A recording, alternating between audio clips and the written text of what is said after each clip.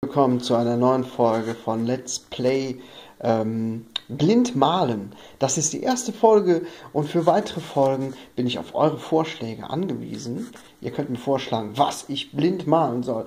Die erste Folge mache ich einfach mal, ich male mich selber blind. Das heißt, ich mache jetzt die Augen zu und äh, los geht's.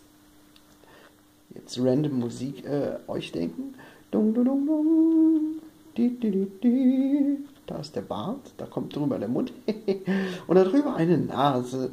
Ähm, natürlich die Augen. Ohren links, rechts. Ach so, Augenbrauen habe ich vergessen. Hier oben machen wir mal die Haare.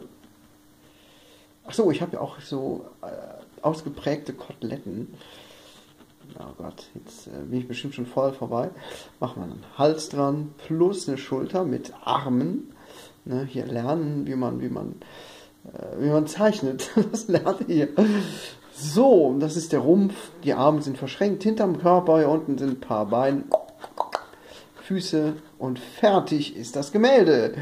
Oh ja, ist doch total super geworden. Ich finde, es ist sehr lebensecht. Und das war Let's Play Blind Malen. Der nächste Vorschlag kommt von euch.